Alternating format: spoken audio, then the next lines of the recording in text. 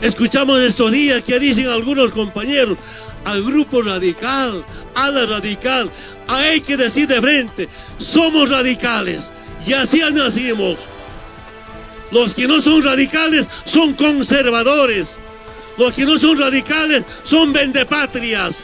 Los que no son radicales están con el enemigo. De esta forma el líder cocalero Evo Morales afirmó en su discurso por el denominado Día de la Revolución Democrática Cultural que quienes están de su lado no traicionan al MAS, pero también de forma ambigua pidió que apoyen al actual presidente del estado Luis Arce y a la vez culpó a su gestión de trabajar con quienes llama pititas. Debo acompañar a Lucho que haga buena gestión erradicando la corrupción. Porque hermanas y hermanos, está en la constitución, ama suba, ama yuya, ama aquella. Es casi imposible garantizar cero de corrupción, pero cero de tolerancia está en manos de nuestras autoridades. Y pues no pueden tolerarse corruptos. Permanentemente a mí me he pedido llamadas telefónicas. Desde acá pedimos al hermano presidente para acompañar su gestión hermanas y hermanos, me piden, fuera los pititas del gobierno. ¿Cuántos? Es el pedido clamoroso. Yo también he visto, hermano, cuántos golpistas en función del gobierno.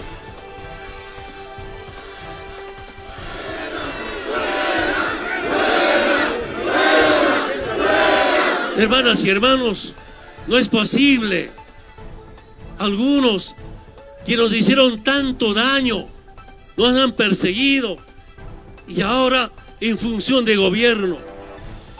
Hay ministras, ministros, ni siquiera son militantes y defendiendo a Carlos de Mesa, a la derecha desde los ministerios. No pues, Evo Morales además indicó que seguirán denunciando las que consideran irregularidades en el gobierno de Luis Arce, reclamando que hasta el momento no se hizo justicia por los hechos de Sacabe y Sencata, dando por hecho que hay un pacto de impunidad entre el gobierno y quienes denomina golpistas. Los que somos de convicción revolucionaria van a seguir identificando quiénes están solamente por ambición o por ocasión y no por la nación. Esa es nuestra lucha, hermanas y hermanos. Pero también, hermanas y hermanos, ayer, anteayer, anteayer, los familiares, familiares de los heridos, masacrados, de quien sacaba, me buscan y me dicen, no hay justicia, son tres años ya, vamos a entrar a bloqueo de camino. Yo dije, no todavía. ¿Cómo es posible, hermanas y hermanos? Son tres años ya, después de que, dos años, pero tres años después de la masacre, y que los golpistas no sean juzgados. Y sorpresivamente, hace dos días atrás, militares detenidos liberados fuera de la cárcel. ¿Qué se entiende?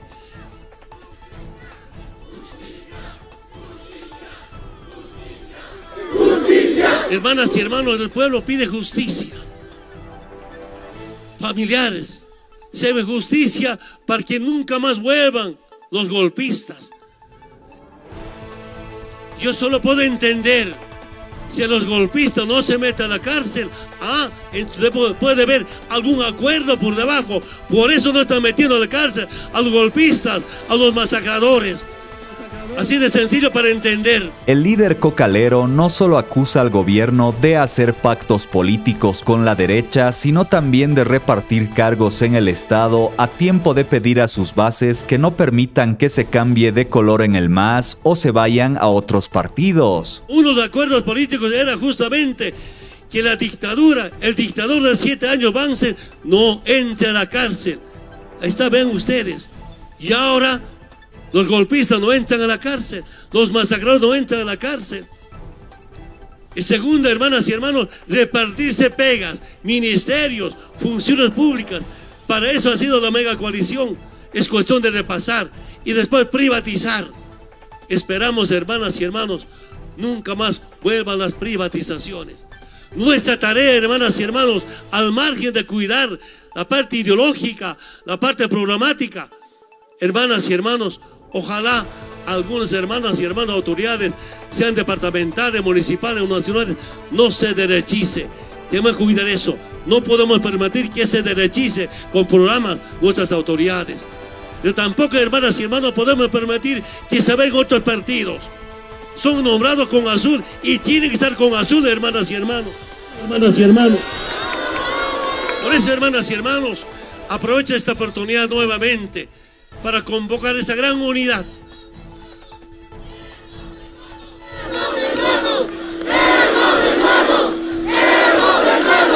hermanas y hermanos, hermanas y hermanos. Muchas gracias, muchas gracias. Es precisamente cuando sus bases clamaban que regrese al poder donde Evo Morales instó a que todavía se aguarde para planificar la elección presidencial de 2025. Tema de elección, tema de candidatos, vamos a debatir faltando un año a las elecciones. Ahora es defender nuestra revolución democrática y cultural. Ahora es cuidar al MAS y PCP, porque intentaron proscribir al MAS y PCP. Y ahora intentaron algunos diputados inventando algunas cartas para acabar con el MAS y PCP. No es ninguna mentira eso. Están fracasando, van a seguir fracasando. Y es defender nuestra revolución y cuidar al MAS y PCP como un instrumento político del pueblo boliviano. Sin embargo, Evo Morales también culpó al gobierno de Luis Arce de prohibir el color azul y las banderas del MAS en actos oficiales. No es posible, hermanas y hermanos, que algunos actos, a mí me preocupa, será la avanzada, será algún ministerio, obligando que bajen las banderas del MAS cuando el hermano Lucho, presidente, visita para entregar obras. No se puede entender. Hay hermanas y hermanos que se me quejan llorando. Tienen que entender, todos somos de azul, no hay otro color para liberar nuestra querida Bolivia. Si otros están en otro color, en los congresos están traicionando a nuestro movimiento político que hizo mucha historia en nuestra querida Bolivia. Evo Morales también pide a las nuevas generaciones de su partido blindarlos y no pactar con la derecha. Cuando sean autoridades locales, departamentales nacionales. Nos toca la tarea a ustedes. Primero, blindarnos con nuestro pueblo y no pactar con la derecha, no pactar con golpistas, no pactar con asesinos. El líder del MAS recordó también que candidatos presidenciales y asambleístas traicionaron al MAS, indicando que gracias a su traición él llegó a ser presidente. No hay que preocuparse, yo diría. Nunca faltaron traidores. En tiempo de colonia habían traidores. Recordemos a ver, hermanas y hermanos, quién era nuestro primer candidato a presidente mediante Izquierda Unida 1997. Era Alejo Vélez, primer candidato a presidente por el instrumento político. Si compañero, hermano Alejo Vélez no hubiera traicionado, Evo no hubiera sido presidente. El 2002, Alejo se ha ido con Manfred Díaz Villa en Cochabamba conocido como Jacobende, su diputado. Como nos ha traicionado, Evo sea candidato a presidente. Repito nuevamente, no sé si la Pachamama, nuestros cerros han querido que Alejo traicione para que Evo sea presidente. No sé eso ya, pero ha pasado eso. Pero Alejo Vélez no ha dividido, no ha dividido, solito se ha ido. Así podemos recordar, en cada tiempo electoral no faltaron traidores, pero no han dividido. Pero tampoco, hermanas y hermanos, la bancada ha sido tan sana. 97 ganamos cuatro diputados. Uno ya nos traicionó. No va a decir el nombre de aquí de Cochabamba. A mí me expulsaron del Congreso. El 2002 retornamos con 27 diputados, 7 senadores. Intentaron dividir un bloque indígena. Finalmente, las bases han puesto en su lugar, no se ha dividido. Pero un senador nos ha traicionado, y siendo aprobar inmunidad para los norteamericanos. No va a decir el nombre, que ese senador en paz descanse. Ha sido expulsado y nunca más se atrevieron a traicionar al movimiento al socialismo.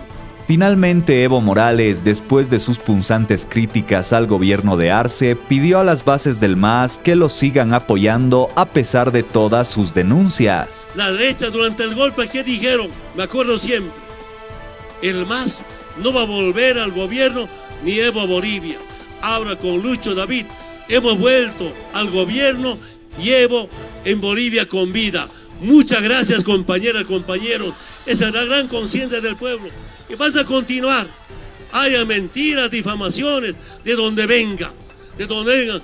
Vamos a seguir porque somos pueblo, somos fuerzas sociales, somos gente humilde que hacemos política para el bien de la patria. Nada más. Muchas gracias. No dividirnos y nunca rendirnos. Y nunca vamos a rendirnos para bien nuestra querida patria. ¡Que viva Bolivia!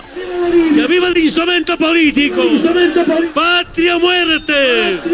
¡Patria muerte! ¡Que viva el Estado plurinacional de Bolivia! Muchas gracias.